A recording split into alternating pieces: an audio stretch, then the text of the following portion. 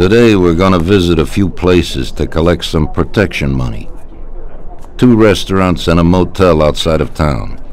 Bill at the motel was late last time because he had a few problems. So today, he'll pay a little more.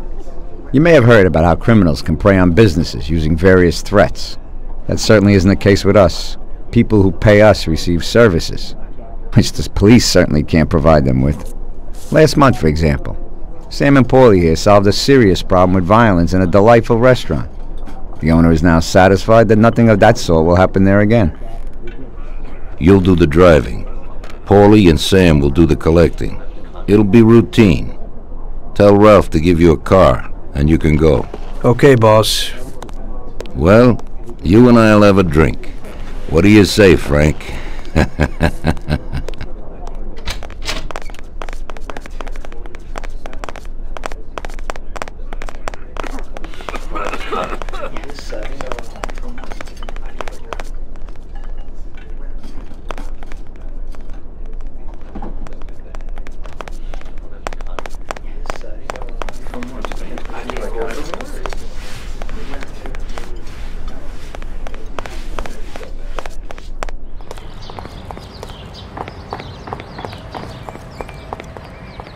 Hey, Ralphie. Me and the boys have got a job to do, and I need some wheels. Hey, I s- sorted out what you brought me last time. It has a good motor, Tom. It has almost 60 horsepower and goes a good 75 miles per hour. He has four speeds and brake servo. simply beautiful. Also, I had a look at how you could best steal one. I used to drive one when I was a cabbie, so I know how to get into one, Ralphie. Well, then I got another little number. It uh, has about 40 horsepower and goes at almost 60 miles an hour.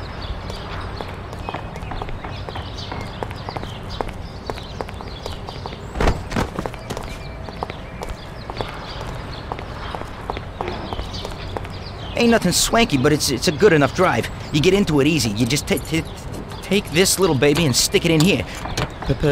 Pry it a little, and when it clicks, you got it. It's a piece of cake. Thanks, Ralphie. Just go. The job won't work. We'll talk at the bar later, Tommy.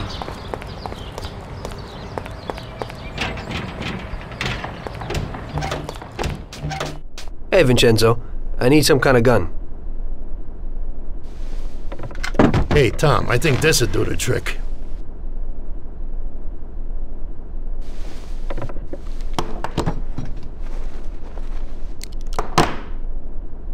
It should work. I wasn't planning on using it anyway. Thanks.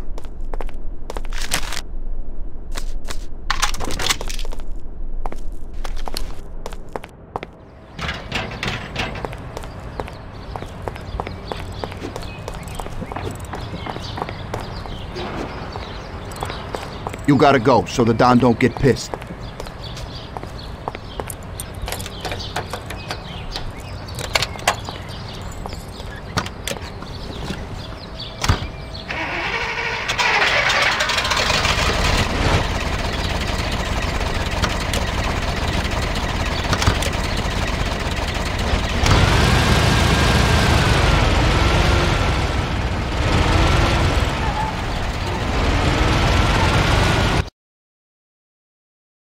Okay. Supposed to go to a restaurant on Central Island.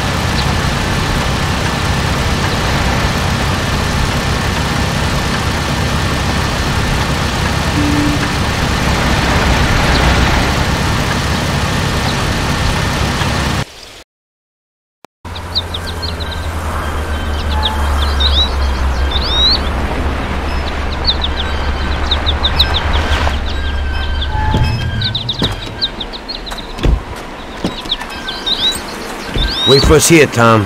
We'll be back in a bit. Okay. Let's go.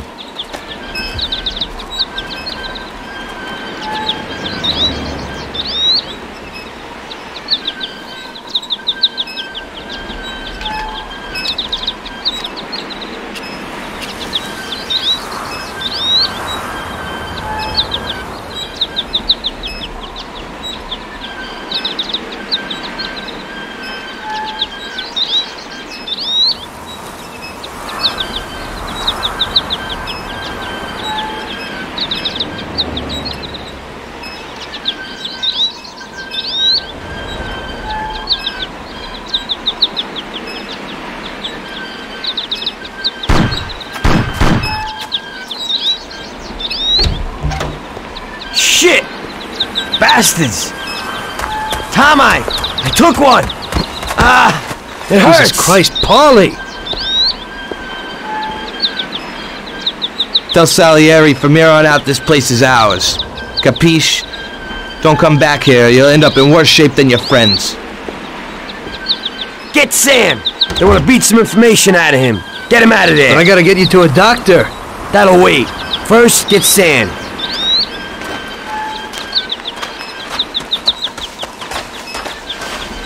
Screw regular routine.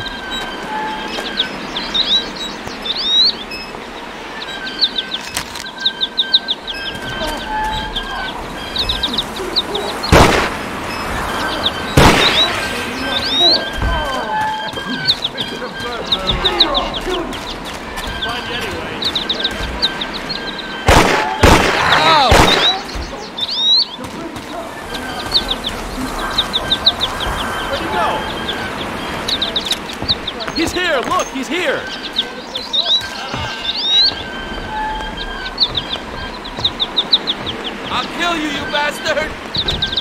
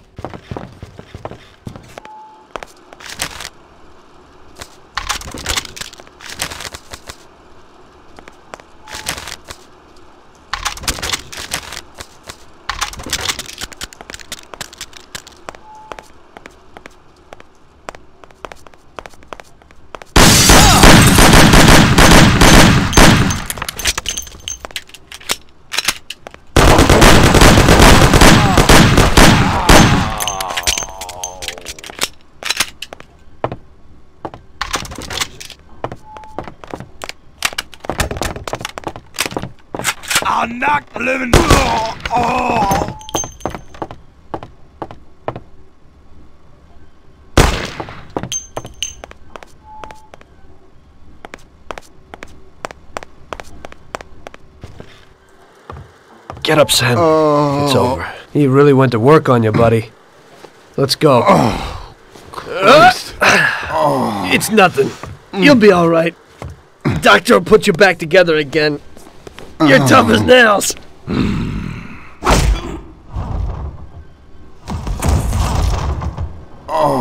Oh, shit!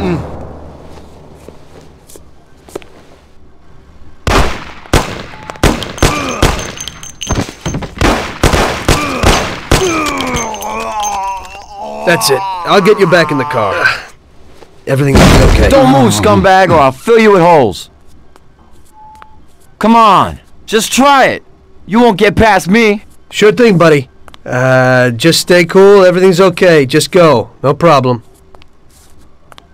Just try it. No. God. Uh, Doe. Get him.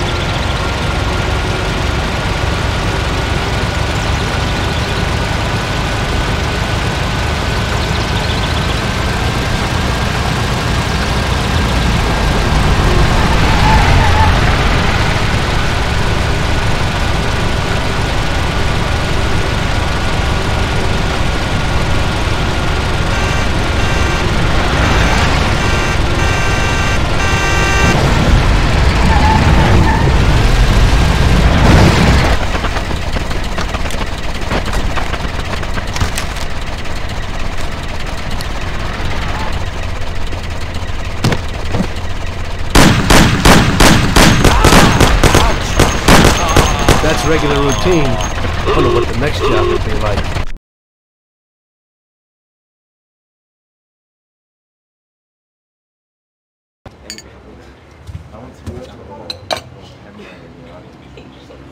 That's how I got into it. One minute a regular cabbie, the next a respected mafioso.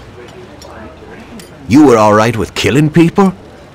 Usually people have a problem with that.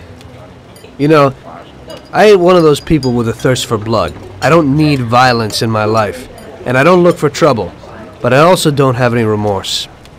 They wanted to outsmart us, so we had to outsmart them. No excuses. It was all the same to me. I wasn't interested in the fates of other people. Everybody said it was just business, and that the family sticks together. It was different from living alone and nobody giving a damn about you. Suddenly you're respected by all the people you meet. Everybody knows you can help them, but you can also destroy their lives. And everybody tries to ingratiate themselves to you. And what about the police? You just walked away, just like that, from a massacre. Didn't you have any problem with this? You work for the police. You ought to know. You know the mafia runs the whole city. The Salieri family makes over 25 million bucks every year. The papers were full of it. But nobody saw nothing. If they wanted to stay alive. We paid off the bureaucrats six grand a month. Your bosses had liquor at trade price and got payouts for special jobs from both Salieri and Morello. Case closed, lack of evidence. Cops would even move shipments of drink for us. I guess you'd have heard something about that. So what about your two friends? Well, they were better off than you'd think. Salieri had a good doc for his boys, and it's not like he ever asked any questions. In a few weeks, they'd be healthy and back on the streets again. The only one who worried us was Morello. He wanted to be the big cheese, which Salieri couldn't let him do. Salieri had no intention of being in second place. You know, a person becomes a Don because of his thirst for power, and he doesn't care about any other rules than his own. That's how it is, Detective. So he'd be his own boss, independent of the police, of the state, of anyone. That's why a person becomes a Don. Salieri and Morello both wanted it all. They kept sparring with each other, but they both knew that if it all blew up, it would be hell. The big difference between them was in their methods. I heard a little story about Morello.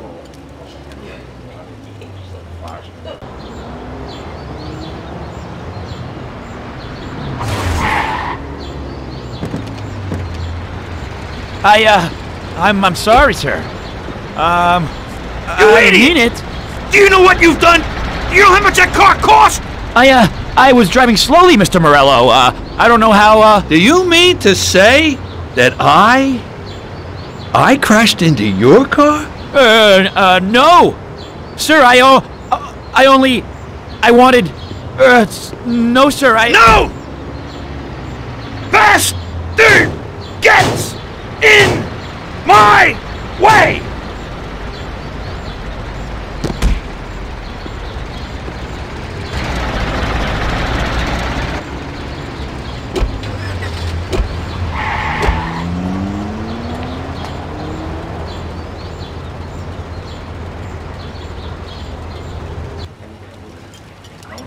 Salieri built his respect as a businessman. Everybody knew that they didn't need to fear him if they did what they should. They knew that if they needed something, they could come to Mr. Salieri. So Salieri made friends, often helped people with various problems, and expected the same in return. When somebody crossed him, they broke a cardinal rule, and everybody knew what would happen. Morello was just a mean bastard. He built his power through violence. Even his friends feared him. Most people just tried to avoid him.